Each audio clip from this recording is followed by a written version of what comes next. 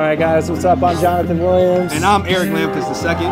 And we are here live in Inglewood, California, where the Los Angeles Rams are getting ready to screen Kingfish, an indelible story of Kenny Washington, one of the first black men to reintegrate the NFL. Yeah, let's check out the action, man. Let's do it. Let's do it.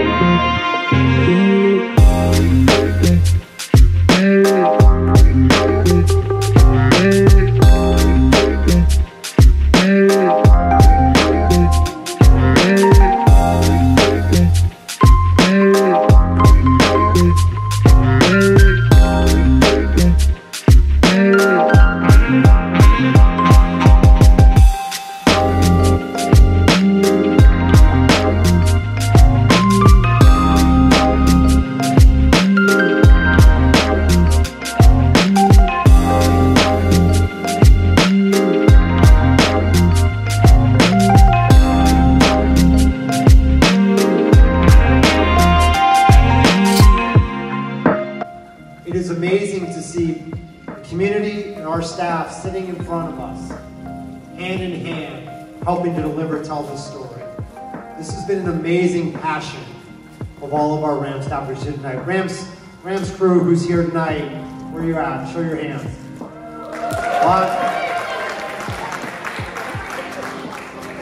This film would not have been possible without your dedication to making sure this story got told well. We are here because of the Los Angeles Rams, an organization that prides itself on being an organization first and community oriented. They knew the importance of bringing Kenny's story to the forefront. Finally, I would like to thank my incredible team and everyone who had a hand in bringing this project to life. Denise, are you out there? All right, thank you guys. Thank you. Well, that concludes our evening. Thank you all for coming. We'll have Kenny Washington shirt search on sale in the back for $40. All the proceeds will go on to the Rams Foundation to continue the great work that we're doing. But thank you all and have a great night.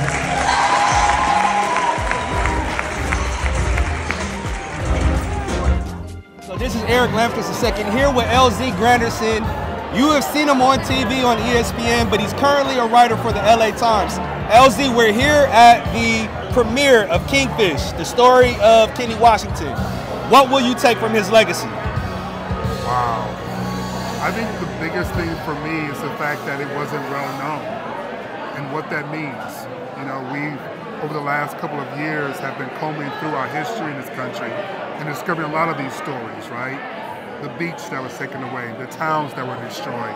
And now Kenny Washington, who, you know, pre Jackie Robinson in the heart of Reconstruction and Jim Crow breaks through like this, and this story goes unknown. So the first thing I think about is this was kept from us. And now that we got it, let's amplify it so that more people can know about his life. So Kenny would have never seen a lot of day in the NFL if it weren't for black media members.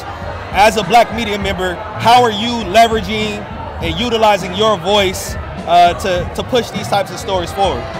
Well, I would tell you, so Bob Glauber, the, the co-author of the book, the other guy is, Ke- is, is Keyshawn Johnson. Keyshawn are boys. Keyshawn told me about this story, about this book, and I immediately wrote about it. So as soon as I found out about it, I used every platform I had, podcast as well as my uh, column in the LA Times, to tell this story. And that's just how I am. When I discover information I think the public needs to know, you know, especially as it pertains to, to black people, because that's what I'm here for, um, I'm going to run, tell that. So as soon as I found out, that's exactly what I did. And what advice do you have to, to young black journalists as they begin to navigate their careers? Talk to the old folks. You know, yeah, you're right. Um, you understand technology better. Um, you're probably more nimble out in the field with phones and, and TikTok and all of that, and that is fantastic. But you weren't there. And the sources that you need are right there in your neighborhoods, they're in your churches, in your barbershop. So relish where we are in terms of technology and advancements, but don't forget where we came from. And that those stories and those voices are all around us. We just gotta talk to the talk to the souls that were there. I I appreciate it. All right, what's up, guys? I'm Jonathan Williams with the Talk of Troy. I'm with Jonathan Franklin of the Los Angeles Rams. UC, uh, Los Angeles Rams, excuse me. UCLA, great. Uh, I'm a Trojan guy. So, uh, so, how does it feel to be out here and to see everybody celebrating Black History and celebrating Kenny Washington? It's, it's powerful. You know, so many times we talk about how can Black History Month be 365. And releasing this film tonight, the premiere, we, we give it that opportunity to take the screening around, to educate individuals of the hero of Kenny Washington and have a dialogue, talking about the barriers, the hope, and the celebration, right, and the path forward. So tonight was incredible and really excited for the next steps moving forward. What do you think this film means for young black men and young black women who want to play football or any sport, you know, Ronan? It's hope. You know, you, you think about the barriers that Kenny had to face, the thoughts that he had to battle, the fear, the doubt, the insecurities. And many times he had to look within and keep going. The, the opposition amongst his teammates, the community, the opposing teams, the leaders amongst the NFL. And Kenny kept going. He kept running because of individuals that look like me, right? That look like him. He was a trailblazer that we all needed. And, and, and Kenny gives us all hope that in the midst of the barriers and the challenges that we have, we can always hold on to hope to keep moving forward. And when someone watches this film, a young black, you know, young black man, young black woman who watches this, what would be your hope for them when they see this? To, to always know they're enough. You know, Kenny believed that he was enough in the NFL. He was an LAPD officer. He was a Hollywood actor. And although he wasn't the first, you know, in law enforcement or actor, he was a, one of the few. And yet he always knew he was enough regardless of what environment he walked into, the opposition, the doubts, the fears. He believed that he was chosen. And because of that, he can inspire so many people to embrace who they are each and every day. And then lastly here, what's next? I mean, what's what are the next steps with this? I mean, how can people find it?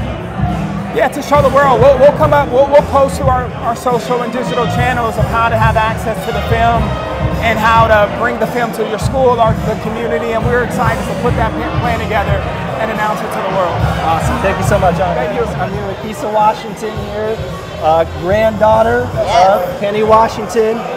So, first things first, how does this feel to see all these people come together and really celebrate your grandfather tonight?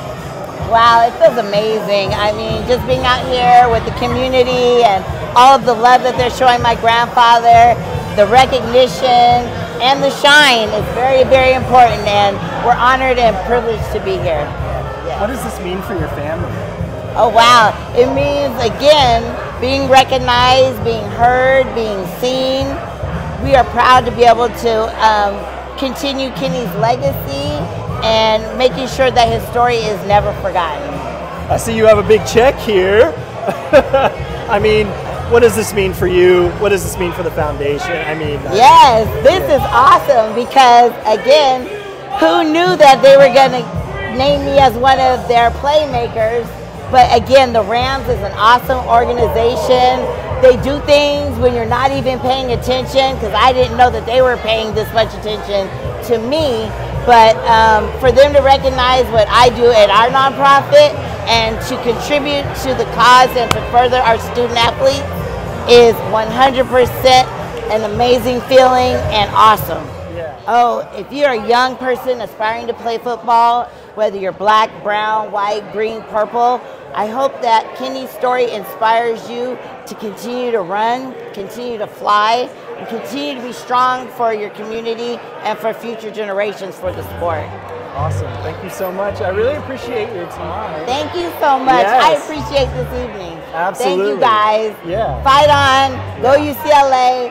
Just go to college. Yeah. yes, yes. I can dance. This one. Yeah, yeah, yeah. Yo, what up? You know who it is? It's your it's your guy Elam here with my with my main man Sam Hawks, co-founder of the Black Originals and director of Kingfish.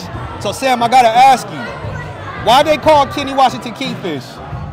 Man, so in the beginning of the film, Kingfish, big fish, small pond, a leader, trailblazer, he just embodied the full spirit of what you would think of when you think Kingfish. Got He's you. man. Got you. So, in learning the story of Kenny Washington, what will you take away from his legacy?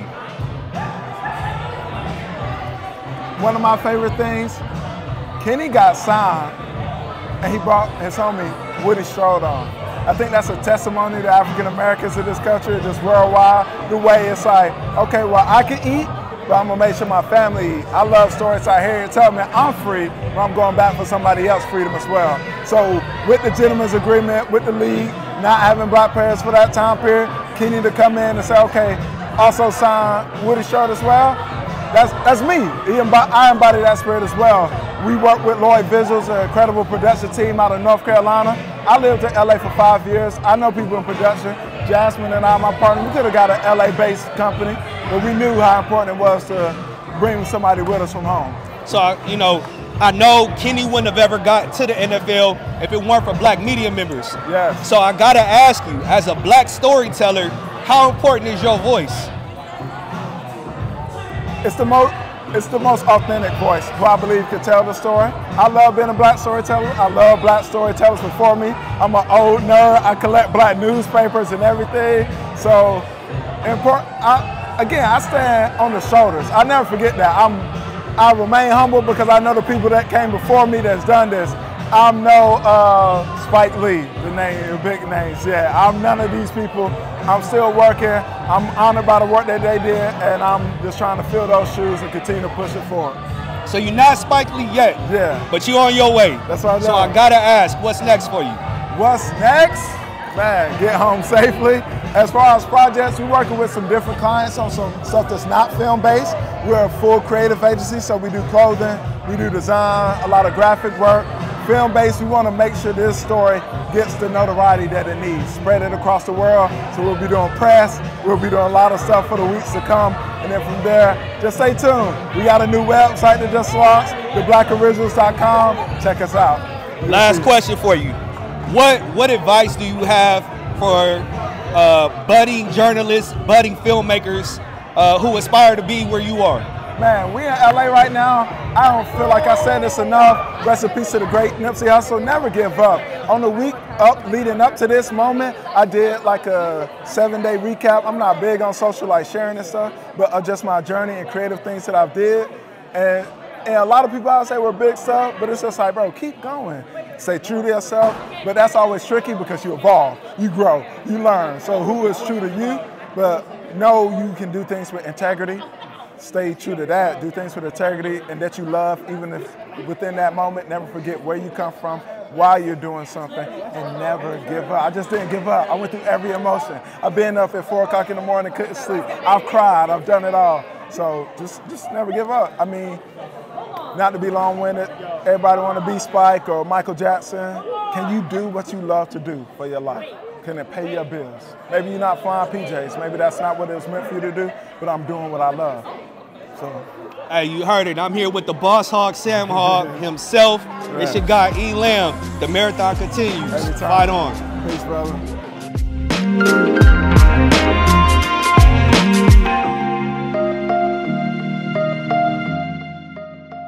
Alrighty, guys, that'll do it from the Kingfish premiere here, hosted by the LA Rams at the Miracle Theater in the city of Inglewood. Yeah, I'm Jonathan Williams. And I'm your guy, Eric Lambkins II. We'll catch you on the next one. Fight on. Fight on.